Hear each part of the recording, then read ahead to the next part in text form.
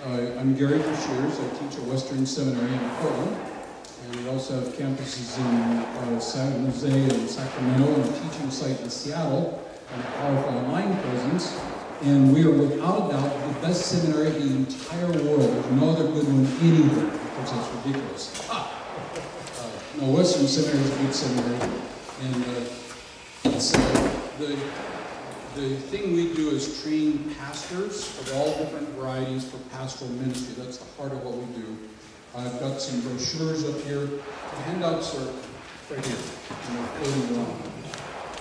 Do you have an extra pen I'll one up here in a second. Okay. Uh, the uh,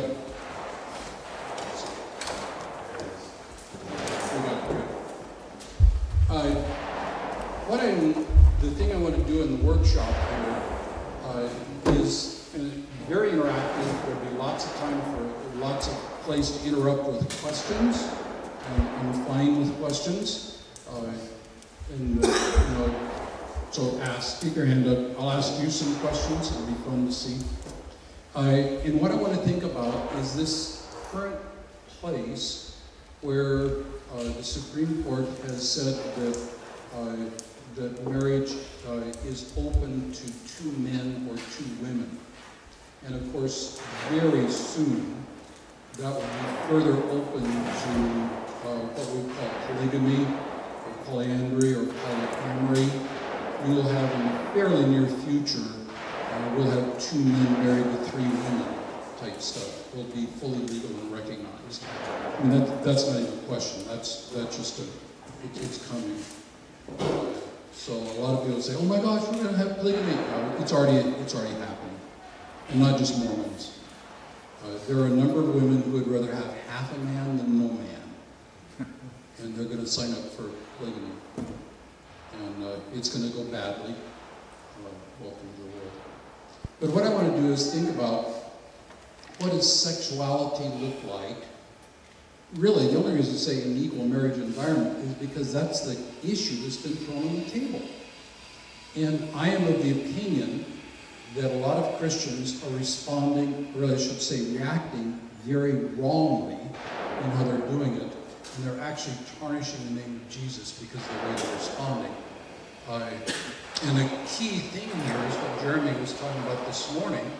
In his first thing, what was his first C? What Jeremy's first C this morning? Compassion, not what? Combating. Com respond with compassion, not combative. And what's happening in many cases is Christians, because of moral judgment that same-sex marriage is wrong, and I share that, uh, are responding combatively and not compassionately. So I think that's a foundation. So what I want to do here is define uh, sexuality. This is Genesis 1. What does God do in Genesis 1.27? He makes man in his image and what? There are handouts over here. I'd be glad for you guys to have them as you come in. Some of you over there want to take the responsibility and make sure people get those as they come in. What does God do? What's the last phrase of verse 27? Male and female. So we see that male and female are creation categories, and they're there all the way along. There's a handout over there. If you pick that up. So male and female is there. What's the first command to come out of that image bearer? Be fruitful. Be fruitful, multiply. How do you do that? And don't get graphic on me. How do you do that? Populate. By having sexual intercourse. Uh, so that's a good thing. Genesis 2.18. It's not good for man to be alone. That doesn't mean, not good here doesn't, is not a moral category. Good is not, in the Genesis 1, is not fundamentally a moral category. When God looked and said, it is good, that's a functional category. It'll get the job done. He says that for a man to be alone is not good. How come? Can't fulfill his function. You can't be fruitful with just a guy. You need a woman. Can we subdue and rule the world with just a guy? Nope. I'd argue we can't. We need male and female to do those things come right out of it. So he'll make a suitable helper. And what is a suitable helper? It's a dog, of course. Right? A dog is a suitable helper. Boy, how much of our society is saying, forget the woman, let's get a dog. Dogs are way easier to get along with than wives. And uh, that's really unfortunate because the Lord made a woman, brought her the man. The man said, This is bone of bone, flesh my flesh. What's that saying? Part of them. She's like me. But she's different. How so? How is she different? This is not hard yet. She's a woman. And it's not just anatomy. Some of the crazy stuff, I mean, just fun, crazy, is the amount of work that's being done to say that male and female are interchangeable in our society. Gender malleability is a way bigger issue than equal marriage. That men can become women and women can become men, and it's just like that. Uh, is, I mean, it's just amazing. And anything a man can do, a woman can do, and vice versa. The simple answer is that's not true. Uh, going into our society. And he says this, and leaves his father and mother, you know, his wife, and they become one flesh. Adam and his wife were both naked, meaning what? Doesn't mean no clothes, so that's true. What does naked mean? Completely vulnerable. The deepest part of who I am is open. The opposite of naked is defensive and hiding. Uh, vulnerable, and they felt no shame. Now remember, this is not just Adam and Eve here. How do I know this is not just Adam and Eve? How do I know this is not just Adam and Eve? Yeah, Adam didn't have a daddy. This is a command for all drawing out of the creation pattern. So a man will leave his father and mother. Actually, Peter Paul, well, Paul, Peter, Paul, and Mary wrote the marriage song, and he added a woman shall leave her home. It's not in Genesis, uh, but it's in the culture. Making me feel no shame. And what's that saying to me, as a sinful man, is the goal of marriage is where I can be completely vulnerable to Sherry and not feel shame even about my shameful stuff because the depth and intimacy and safety of our relationship. So Sherry and I have been practicing marriage for 47 plus years, and I still have not gotten it all correct. You can check with Sherry and see.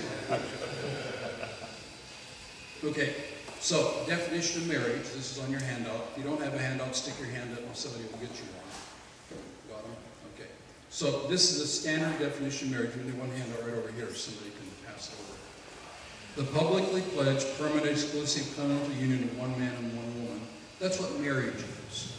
Now, wedding customs vary dramatically across cultures, but all cultures have a wedding. It's permanent. It's uh, pass it around. There's somebody back behind me. hand too. And it's one man, and one woman. Where did we get this? Genesis. Okay. Now, what did Jesus say about marriage? This is the basic patterns of marriage in the written. Great family, great mission, great friendship, great passion. What did Jesus say about marriage? Did he define marriage? That's a trick question. Did Jesus define marriage? No. Why do you say no? Because he affirmed a definition that was already there. Jesus affirmed a pre-existing definition of marriage.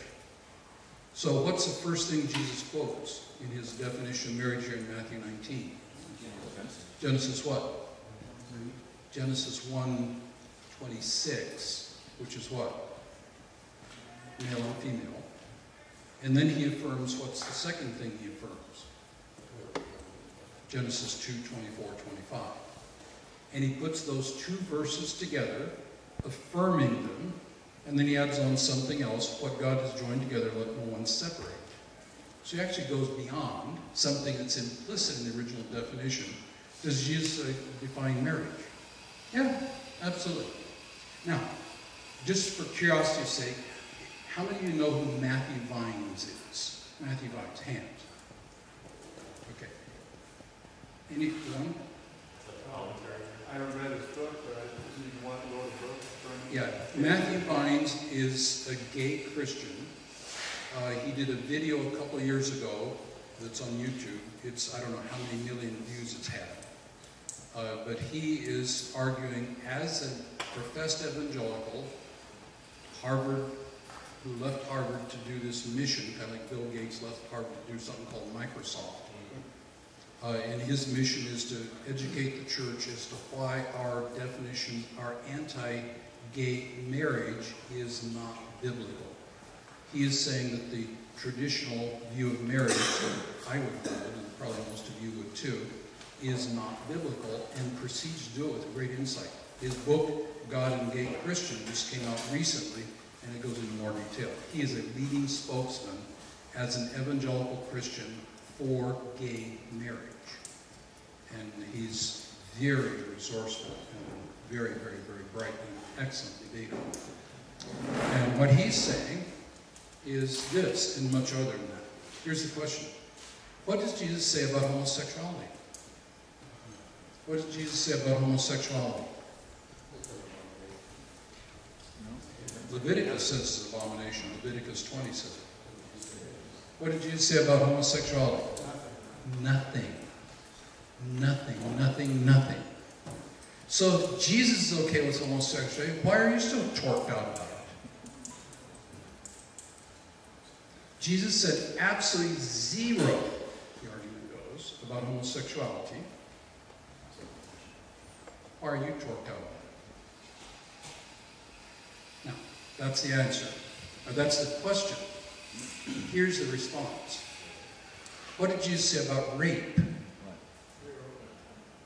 What did Jesus say about rape? Nothing. Zero. Nada. What did Jesus say about sex trafficking? Pimps going out and getting lonely 15-year-old girls and prostituting. What did Jesus say about sex trafficking?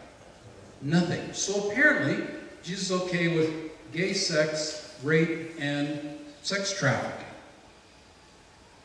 See, that's the way to respond to the argument. Did Jesus talk about homosexuality? And the answer by specific term, no. Did Jesus define marriage? Yes. How did he define it? One man, one woman, husband and wife for life. Now, here's the rest of the story. Matthew 15, Jesus talked about things that are defiling. When he talks about defiling things, where does he start? Evil thoughts. Actually, not the mouth, but the brain, mind. Evil thoughts. And what else? Sexual immorality. Murder, adultery, sexual immorality, theft, false testimony, slander. Now, sexual immorality is the Greek word porneia, which means what? What's the English word we get from that? Pornography. What does porneia mean? Any Greekers in here? Got your Strongs out on your phone yet? Blue Letter Bible? It, porneia just means any sexual activity outside of marriage. Any, any, any sexual activity outside of marriage. Did Jesus speak to homosexuality? Yeah. Not directly, but categorically he did. Did Jesus speak to rape? Yes. Not specifically, but categorically. Did Jesus speak to sex trafficking? Yes. Did Jesus speak to pornography? Yes. Not specifically, but categorically. How did you do that? By saying porneia, any sexual activity outside of marriage, is defiling. So the argument Jesus does not speak to homosexuality is simply not true. As long as you accept the categorical, if he's going to mention it specifically, then he's okay with rape. And nobody thinks Jesus is okay with rape. So that's the way to approach that particular question. Where does sexuality come in the list here? Gary, if I can stop you just for a second. Stop. Stop. Stop! Would would the gay culture then come back and say, well, that's why we need to get married?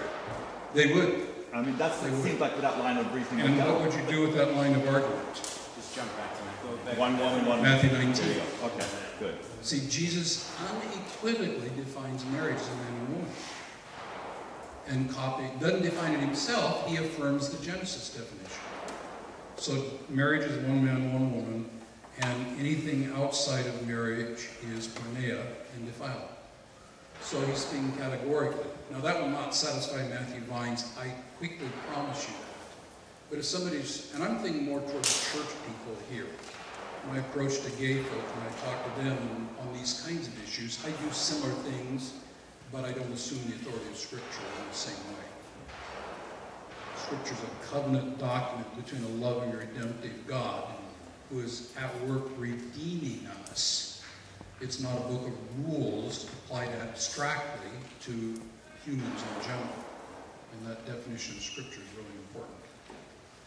So, What's his motivation for wanting to justify this? I mean, why is he so passionate about trying to convince people to change what has been historically true?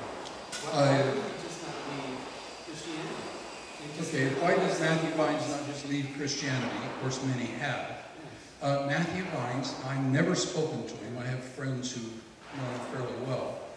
And what they tell me is that Matthew Vines sincerely believes that uh, marriage between two men is a brand new thing.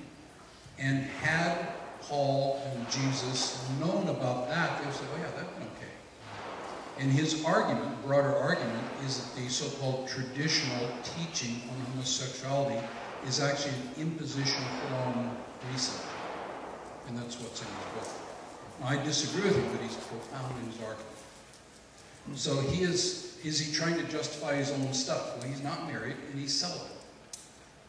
He hopes to be married because he believes that is a God-blessed status and he would affirm strongly that sexuality outside of marriage would be sin. Again, that's what I hear him. I've never heard him say that, but friends say he would stand there strongly. So he's arguing for marriage, but broadening that to include a category that the biblical writers simply didn't know about. And we've got lots of areas where the Bible uh, doesn't speak to things we can now do today, so we extend Scripture to new items. And that's his argument. And I disagree with him, but that's the kind of argument he's doing. I'd argue the concept that they didn't know about it. I- mean, history would say that's not. This, this is a place where Vines has really done his homework. Uh, he has, he has a very good memory, and he can quote documents from the ancient world off the top of his head, just like that. And I have a website, breshears.net, and on, that's my last name, .net. And on that website, there's a page over on the right side that says Roundup Resources. And in that page is a whole list of resources that I would commend to you. And among my resources, one of the things that I commend is William Loader, L-O-A-D-E-R. He's an Aussie. He is a gay Christian, uh, liberal Anglican, very liberal Anglican, but he's an ordained priest in the Anglican Church. Uh, and he is an expert in first century sexuality. He's written like five fat books on it. And he's then wrote a shorter book, on the Bible on homosexuality, and he argues that the Bible is against homosexuality and it's wrong.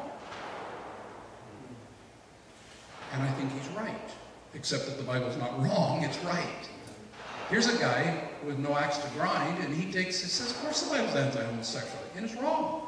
Okay, so the Bible's wrong in there, it's right in many others.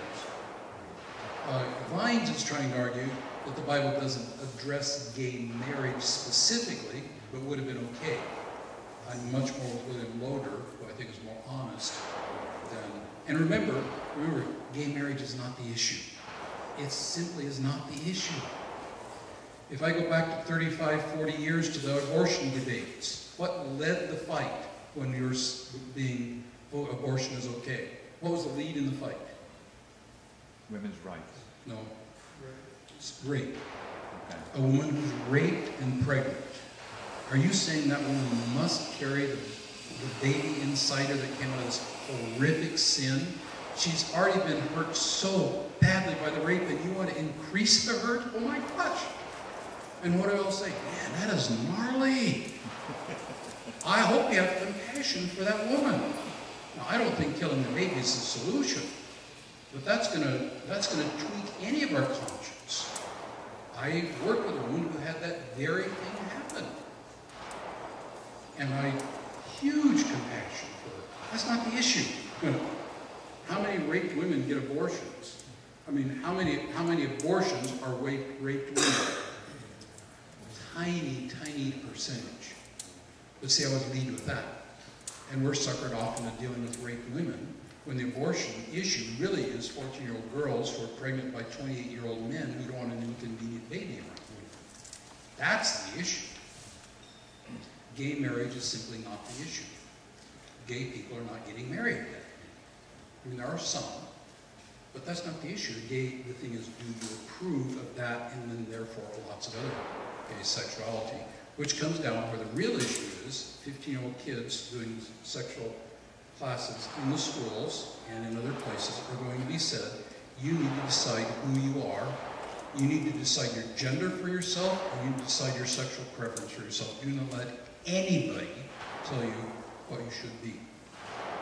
You need to experiment with everything and figure out who and what you are. That's the issue. And there cannot be any right or wrong in that you need to decide for yourself in a completely neutral environment. That's the issue. Gay marriage is just the right case to lead that bigger issue. So remember the issue. So, yeah. Can I ask a question? No. It's definitely, with my Look at him. Look at him disobeying. Look at him disobeying. You're joking. I am. It's been my dialogue that compassion is the issue here. It My is. dialogue with homosexuals or advocates of gay marriage is that you're judging and you are showing no compassion. That's their, their trump card. Yep. You, you know, this might come later if you really get into a serious conversation or somebody's truly interested in scripture, but it's always that you're judging, Yep. stop it, and, and then you're not loving or Right. you're against love. And unfortunately, that too often is true. And the narrative and the culture is making it always true. Well, being against it at all is an act of judgment or lack Yeah. of compassion. I'm against lots of things that I hope people see being compassionate toward is called sin. I hope sinners would find me to be compassionate when I sit down and talk to them about what's going on and help them get out of it, if they want out. Unfortunately, a lot of people love their sin. They love their, they despise the light because their deeds are evil, John 3.19 says. And that's going to be true here as well, but we can still do that. Okay. Does the Bible believe in good sex? Careful. Does the Bible believe in good sex? You have to define what good sex is. This is critical, is your definition of sex. So a handout, fill in the blanks if you want to do it. A, this is two possibilities for definition of good sex. A pleasurable whole-person bonding activity between husband and wife to express, confirm, and deepen their marital relationship. That's definition A. Pleasurable whole-person bonding activity between a husband and a wife to express, confirm, and deepen their marital relationship. That's definition A. Definition B, a pleasurable recreational activity between consenting adults. That's two different definitions. By the way, this PowerPoint is at Breshears.net Roundup Resources. You're welcome to take pictures, there's no problem with that. Yeah, you're very welcome to take a picture of that. This is all freely distributable. Which one is, what are you going to affirm as a Bible, Bible, believer? Okay. Now here's what happens. Here's what happens. What does our culture support? B. And here's what happens way too often. Christians de facto don't B and say only between a husband and wife. Could you repeat that? What Christians do is they don't realize that when we talk about good sex, that we've bought definition B, and then we say, well, only between husband and wife. And the whole society says, how come? I mean, we love each other. Why not? And we say it's a whole person, or it's a pleasurable recreation, recreational activity between consulting adults if they're married. He'll say like, you're, you're a narrow-minded, bigoted, judgment, little whatever. We've got to go back to definition A. Good sex is a pleasurable whole person. It's not just a genital exercise. It's not just a biological climax. It's not just physically orgasmic, though it is those. It's a whole person bonding activity between a husband and wife to express, confirm, and deepen their marital relationship. Now, sex does not bear the burden of being the idol in your life. It is a means of accomplishing a God-blessed activity called marriage. We've got to redefine good sex. And what we need to be doing, and I'm speaking particularly to leaders here, is we need to speak positively towards sexuality from our pulpits and podiums in our churches. Because what happens, I've asked a lot of different guys, uh, how many times have you heard somebody, how many times have you heard a pastor in a pulpit saying, my wife and I have good sex, or something to that effect? And most everybody says, I never heard that. What a shame. Then I'll broaden out a little. How many times have you heard your pastor affirm sexual activity from the pulpit? And many of us have never heard you say that. How many have heard your pastor condemn adultery? Oh, lots of times. We've got to speak positively, man. We've got to speak positively. We call people to good. What's the definition of marriage? One man, one woman, husband and wife for life. We call people to the good. And in doing that, we inevitably express a no for the bad. But if we begin with condemning, then we're what? Condemning and judgmental, and indeed we are. Stop it. Let's call people to good. And in that process, we're going to name wrong. So how many are for A? How many for A? About half of you. That's pretty good. Okay. What's that? That's an arrow. Good. Okay. Now, I want you to identify yourself in this arrow. Are you gay, bisexual, or straight? Show of hands? Or maybe I should ask you to identify yourself on the spectrum. LGBTQTIA. What is L? Lesbian. Lesbian, that's women. G, gay, that's men. B, bisexual, means you do both men and women. T, Transgender. transsexual or transgender. What's the difference? Well, transsexual is somebody who either has or is pursuing a surgical procedure to change his male or female. That's Trans- right. Yeah, it's- it's- Transgender is how I identify myself. Transsexual is when I start messing with my biology to change my genitalia and hormonal and physical stuff. Uh, Caitlyn Jenner, recent example. Transgender or transsexual? So far, from Transsexual. well. She is in process. He, she is in process. The Vogue magazine presented her as push-up bra and all that kind of stuff. Very interesting article in the New York Times, short after Caitlyn Jenner made the cover of Vogue magazine, was a group of women feminists, strong feminist leaders, outraged, outraged by Caitlyn Jenner. They were saying, correctly, here is another case of men defining what a woman is. And they were angry. In the New York Times, which is hardly to be confused with Christianity Today. and they're right. They're right. Bruce Jenner is defining what a good woman is, somebody with showy breasts and who likes to sit around tea and gossip. He is defining and going toward a male definition of female, and they were totally angry. I'm probably more angry than they are at one level. But, uh, yeah, it's not just Christians who are ticked off by the Caitlyn Jenner nonsense.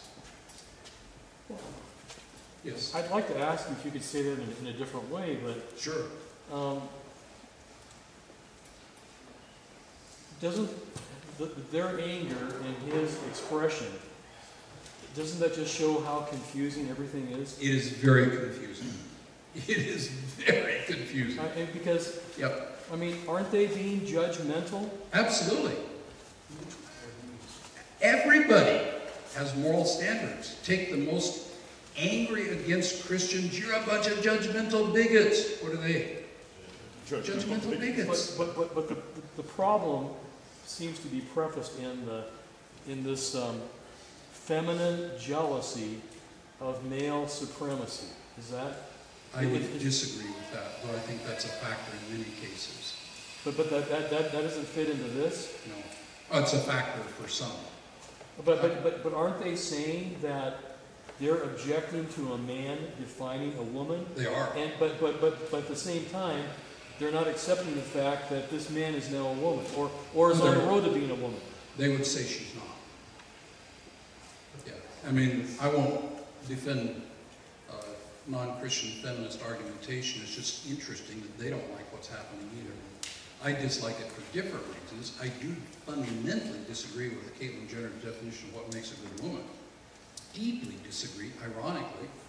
Uh, These lesbian, or these uh, feminist leaders also disagree, though probably their definition of what is a good woman would be somewhat different than mine. So just, just one more comment, and I'll Sure. keep quiet, but it's. Probably it- not, it- for it. I mean, it, it- it just seems to me that, that what you just said about that scenario screams loud and clear that there is no moral canon in our society.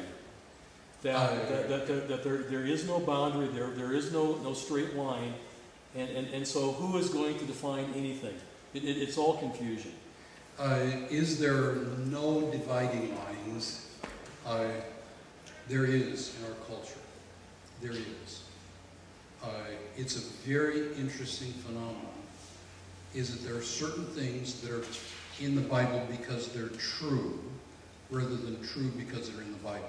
Well, that would be, that, that would be the argument that only, that that the Bible is the only source that represents any kind of moral absolutes. Right. Outside of that, it, it, it- it's a free-for-all. Yeah, and I would disagree with that. You would disagree with I absolutely do. Yeah, I really do. Uh, What is generally called natural law, there's a lot of writings on natural law. I put this in the image of God. I think we are hardwired for justice, marriage, respect of persons, and community, we call it. We're hardwired for that. Everybody knows when they've been treated unjustly. Well, I wouldn't disagree with that, but I would say the Bible represents that. It does, but you don't have to have, you don't have to know the Bible to believe that injustice is wrong. So it, it's just a way of how you express it. No, I think that somebody can have a genuine standard of, of true morality and not be a Christian in any sense.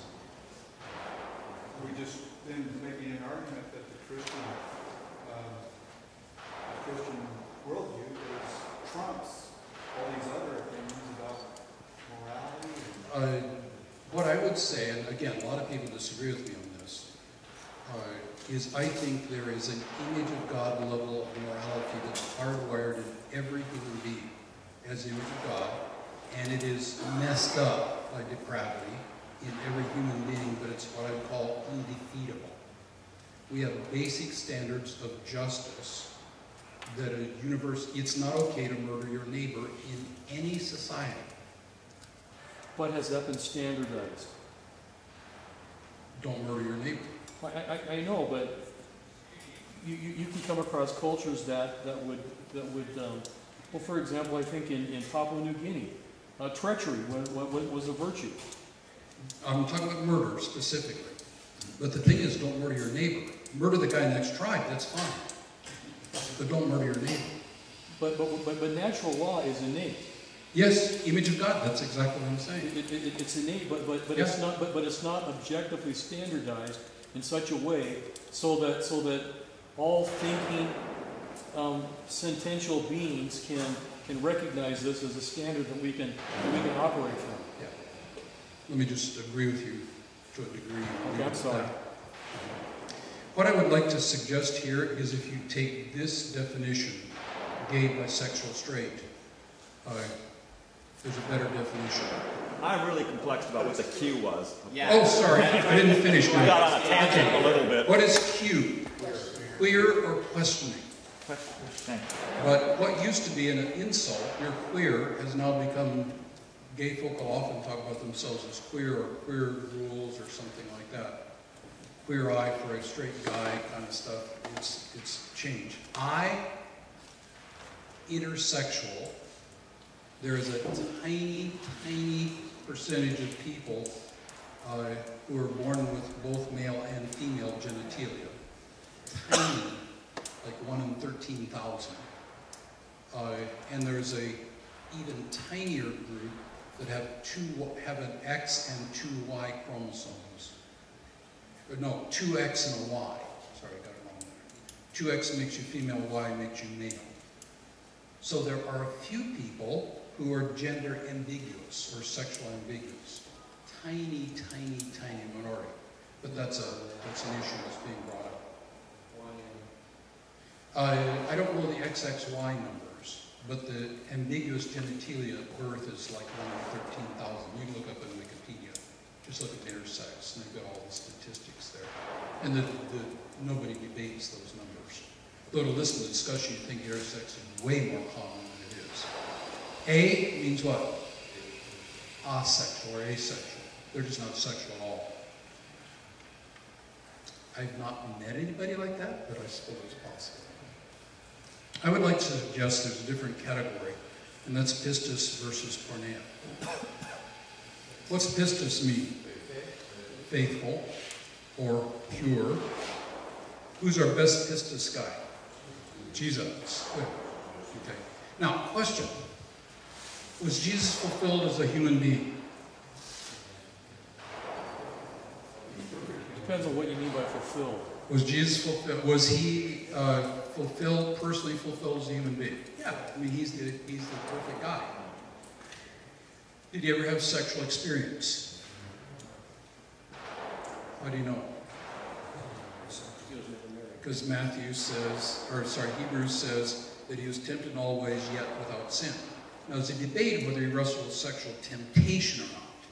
Some people say no, because he didn't have a sin nature. Other people say yes, he did have sexual temptation, but overcame it by the power of the Holy Spirit. And but whichever, he did not have sexual experience of any kind, because that would have been porneia. Is he a good guy? Say yes. You. Okay,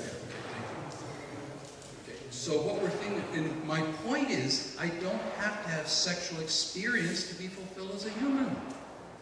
Though the original command is for people to marry and have good sex. Not sex does not mean you're a bad person. Here, no. Trick question. Trick, trick, trick, trick, trick. Warning, warning, warning. Who's the pistis? Who is pistis in this thing? Can you see it there? So you got one, two, three, four, five, six, seven. Who is pistis here? Trick, trick, trick, question.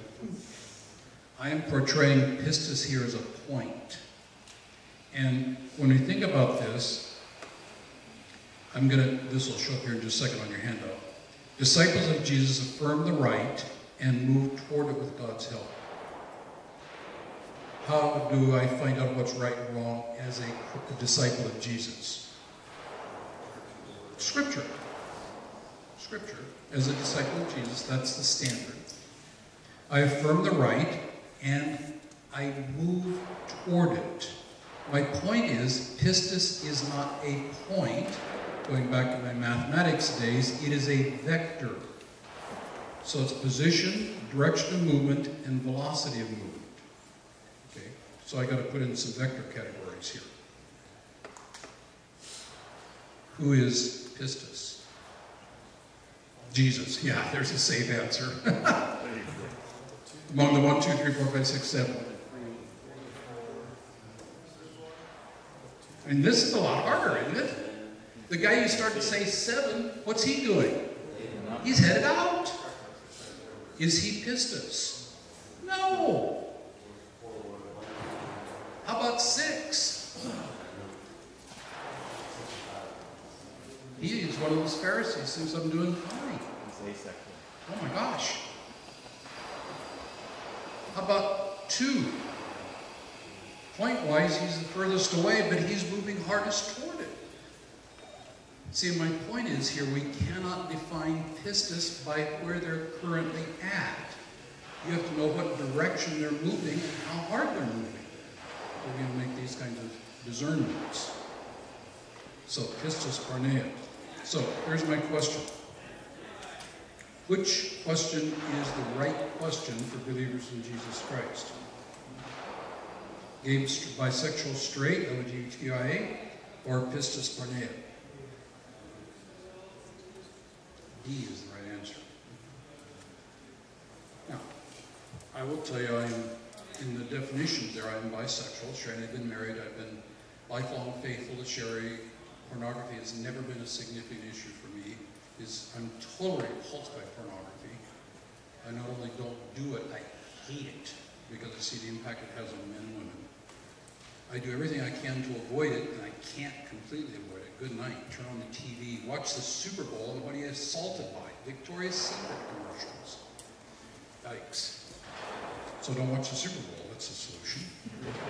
Is Oregon going to win tonight? Don't watch it because you'll see Victoria's Secret commercials.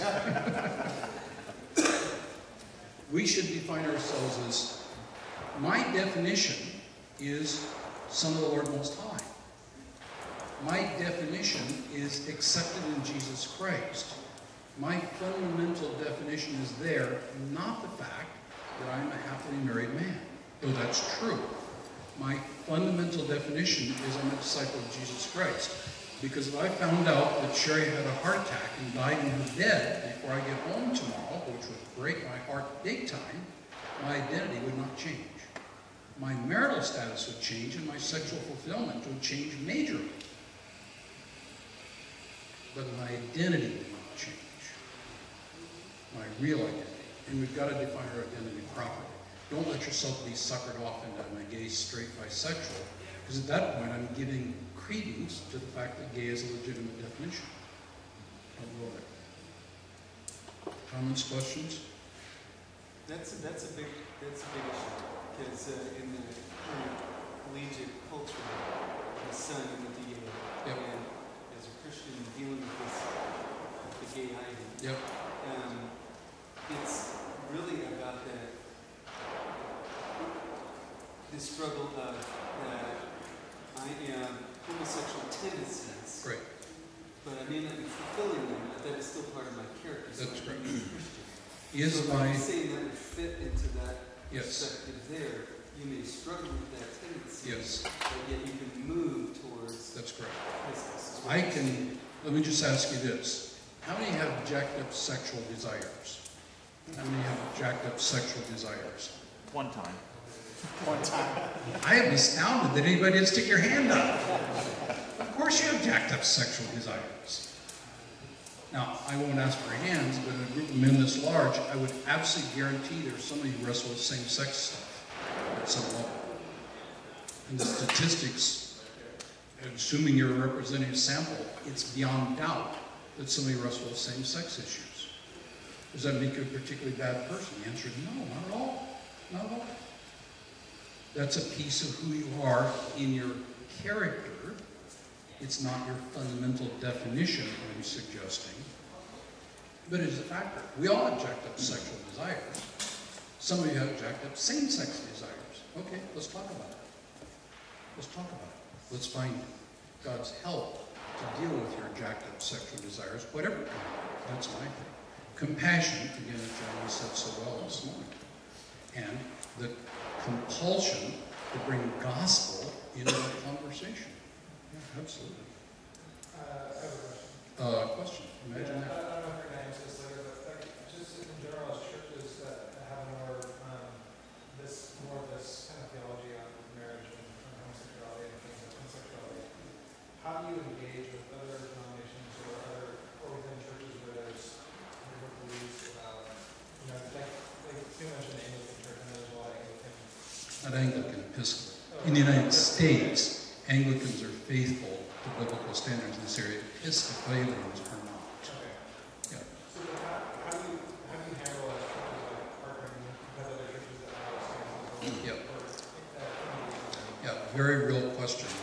And what we're going to see happening, we've already seen it. Ryan Meeks and Eastlake Fellowship up in Bellevue, Washington, large, Ryan Meeks was speaker Catalyst, for example.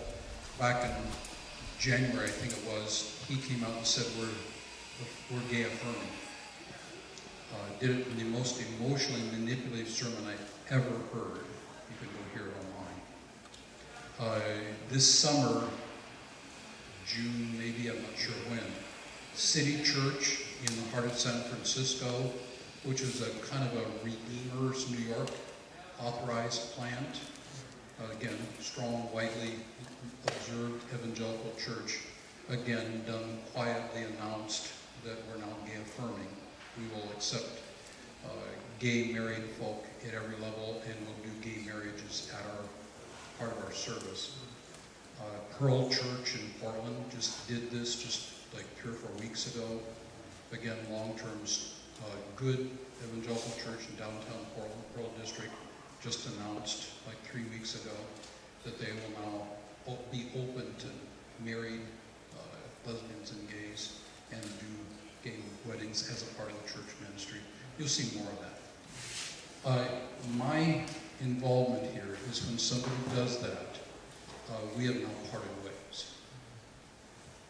Uh, in the same sense, I mean, I could look at other kinds of things like that where you denied something that is fundamental to the Christian affirmation, and marriage is. Uh, So, so would you not like, like the seven degree Acts, for instance, would, would, I don't, don't, I don't know who, I know that Edgy is involved in that, is it- is that where you draw lines and say we're not gonna partner together? I would. Yeah, I would say, I would say, uh, with broken heart, because I know Michael, I mean, he's not a close friend, but we've done some stuff together, some very, very challenging ministry stuff together. And I know a lot of leadership there. The whole preaching team is now left. And some of the preaching team were very close friends. They all left. They said, we can't affirm this. It's, uh, now, who knows what happened in the church, I don't know. But no, I'd say that, no, we can't do seven together. I can't pray God's blessing when you're at, you're affirming and leading something's fundamentally sinful. Now, it's a personal decision, but, and I don't know what seven will do, I don't have any idea. Uh, It, you know, can we serve together cleaning up the park? There, there'd be a level at which I would let a Mormon, I would work with a Mormon, I would work with them at the same level, perhaps.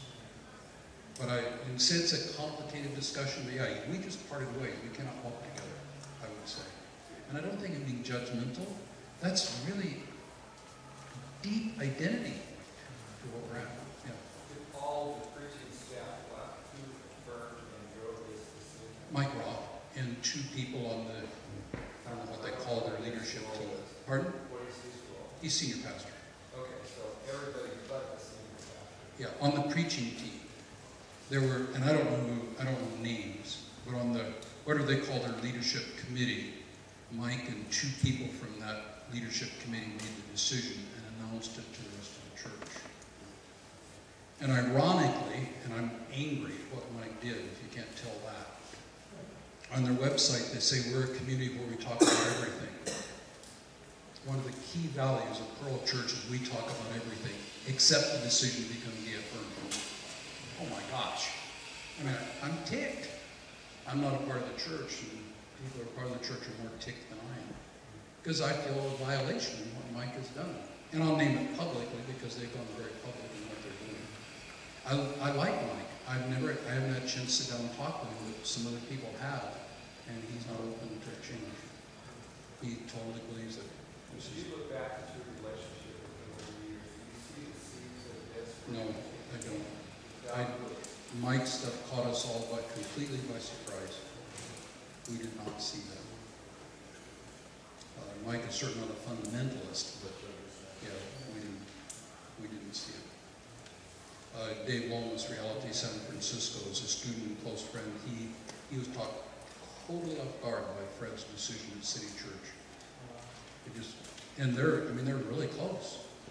Yeah, so it's, um, Ryan Meeks was not so surprising because he'd been playing the left for a while. Yeah, It's tough. The Catholic Church in any foreseeable future remain completely faithfulness as a church. Individual Catholics, of course, they're gay Catholics like they're gay evangelicals, but the church is not going to change on this. People say, oh, Pope Francis is okay with homosexuality. No, he's not. No, no, no. He's not coming out and having the judgmental, condemning attitude so much, but yeah, he's, he's not going to back down. Can we go back to the identity? Can we go back to the identity? Yes. Uh, so, so if you have a conversation with somebody, their identity tells right into their sexuality, sexuality, how do you steer them to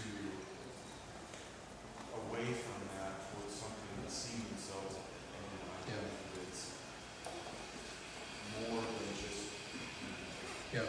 How do you steer somebody away from sexuality to sin of their identity? yeah to Toward, uh, Child of God.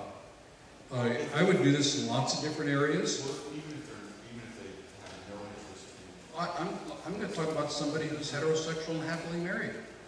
If they see their identity, hey, I'm a happily married man, I say, dude, like, let's think.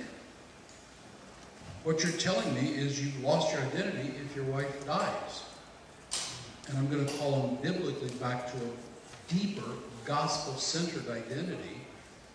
Because if I, if we, and uh, I'm just parroting what Jeremy said this morning, if I make my marriage, my sexual activity or such in my marriage, if I make that central, that's become an idol in my life. And it won't sustain the weight. It will crash. I've got a God at the center. And if I don't, it's going to crash. God is the only one who can be God. So without that, this is something that you know, we inevitably identify yourself as something else, and as long as it's not a child of God, it's gonna take this form of That's something. correct. Anything I put at the center of my identity, other than child of the Lord Most High, can't bear the weight of being God. And you know, Tim Keller is brilliantly written on um, counterfeit gods, money, sex, power. If you put your job there, it will crash. It can't bear the weight. Not a not a bad thing at all to be a happily married man. I are one. But if that's the center of my identity, it can't bear the weight. It will crash. I've got to get back to a deeper gospel identity. And that's what Leading us in and doing a great job of. Uh, important, I think. All humans bear what? How many? All. Jesus commands us to what? Good. Okay, you're doing great. What does love mean? Sentence one, I love pizza. Sentence two, I love my enemy. Those two mean the same thing in standard American? What does love mean in I love pizza? It means I desire it for my own pleasure and fulfillment. Here, where we're at right now at Roundup, I could say I love steak. Because that desire is going to be fulfilled in ridiculous quantity and soon. Somebody want a third? I'd like a third of somebody's steak here. But see, what happens is we take this definition of love, I desire for my own pleasure and fulfillment, and bring that into our marriage. I've heard many men, especially men, say, I love my wife, and they mean definition A. They should say, love in the second sense, I seek to preserve their dignity and welfare even at personal cost. That's what love your wife means. And what happens is we misdefine love as I desire it for my own pleasure and fulfillment, and we say I love my wife in new definition A, and we inevitably end up abusing our wife when we do. Inevitably. We don't even recognize it. We say, man, I love my wife. That's not love. What is it? What's definition A? It's not love. What is it? Self. Lust. Lust. And you just say, I love my wife for my own pleasure and fulfillment. You're, what you should say is, I lust my wife. Now, there's a sense in which that's fine. As long as you also say, I seek to preserve her dignity and welfare even at personal cost. Because lusting for your wife, desiring her for your pleasure and fulfillment, is legit. As long as that's lower than, I seek her dignity and welfare even at personal cost. So does definition B leave any room for modification at all? Or is that? You cannot modify my handout. You cannot modify my handout. What are you doing, you evil person? Of course you can modify it. Years ago, um, uh, back in the seventies, Scott Peck wrote Luke and July. Yep. In his definition of love, he said it was a willingness to extend yourself for the spiritual welfare of person. Which still, to me, Yeah. is the Scott Peck, People of the Lie. It's a fabulous, challenging book. I require my students to read part of it. Uh, and he defines love in a way that's very similar to this. I extend myself for the spiritual welfare of another person. That's a variation of the same definition. Yeah. The risk of sounding self-righteous, sometimes when I'm dialoguing on Facebook with folks, that's the intent of our heart, my heart. Oh, yeah. is, you know, but Is it okay to love in the sense of getting self-fulfillment from it? Is it okay if I love somebody and am fulfilled by that love? Absolutely. This idea that God's love is self-sacrificial in the sense that he gets no pleasure from what he's doing? Ridiculous. Read Hebrews 12. Why did Jesus go through this, enduring the shame of the cross? For the joy set before him. Of course there's a fulfillment in love. Very legitimate. You just don't always get it. But if you do, all the better. This is where I stand with John Piper in desiring God and Christian hedonism. I fulfill the deepest desires of my heart when I serve God. There's a delight. Yeah, that was great. Absolutely. Can you repeat questions when there's gunfire? Yeah, I'm trying to repeat questions for the video as well. What did I not repeat? Whatever, yeah. Yeah. So, and I think this is important, our time is out, so I'm going to have to quit here. I think this is really important, and Jeremy was saying it this morning. Christians preserve and protect the respect and dignity of all people. Do I love my gay co-worker? Yes. Yes, absolutely. Well, I actually hate the sin, not the sinner doesn't work because sinners sin. And so, what? We're all sinners as well. Yeah, it's really true. Yeah, I'm tempted to go with that, but I won't. We're all sinners in needs of God's grace and cleansing. Distinguish attraction from activity. Super, super important. Won't be allowed, but really, really, really, really important to separate those two. We all got jacked up sexual attraction. That doesn't mean we have jacked up sexual activity. And we can shepherd our sexual activities to a large degree. Uh, I think we can shepherd all of our activities toward godliness with the Spirit's help and the help of the community. Anyway, we need to quit because we've got another great workshop coming this. Let me pray and we'll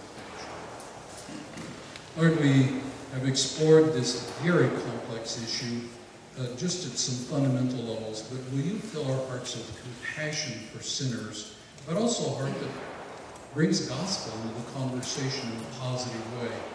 And in those places when we are reviled, we will be, may we be like you, Lord Jesus, and revile not again, or respond with service and with compassion, but also with a demonstrated righteousness by the power of the Holy Spirit in our lives.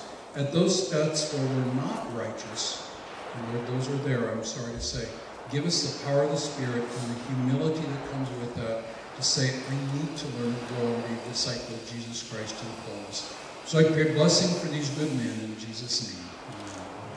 Thank you all.